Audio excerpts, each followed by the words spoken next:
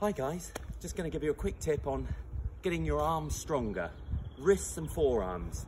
Two best players in the world, one of them Gary Player, strongest arms you've ever seen. Tom Watson, you've all heard of that.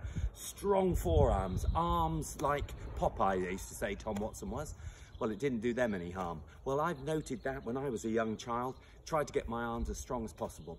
Different ways, press ups, pull-ups, all those sort of things. You might do other injuries though, but this one, purely for your forearms, is do this little exercise now and again, is just pull your fingers out as stretched as you can, then squeeze them in.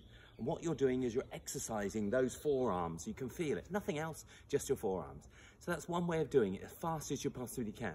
Another little gimmick which I used to use, which was rolling up, rolling up an object. Here it is, what I've got. All you need is a piece of string, pair of scissors and some sellotape. Put the string around something. This is just a cardboard piece of um, tubing here.